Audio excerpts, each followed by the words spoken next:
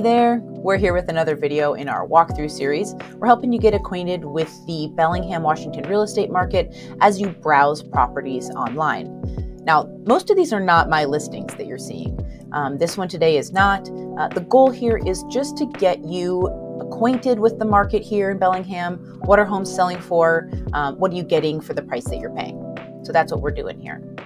Today we're going to walk through one on Yew Street Road. Yew Street Road uh, goes from Lakeway Drive to Samish Way, um, so kind of up and over the hill there, uh, really close to Galbraith Mountain, and um, it's going to be about five minutes from town and about five minutes from Lake Padden, so super great recreational spot.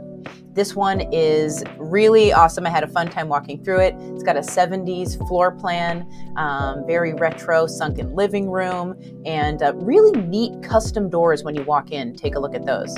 Um, and uh, also check out the stats on screen here for the rest of the details.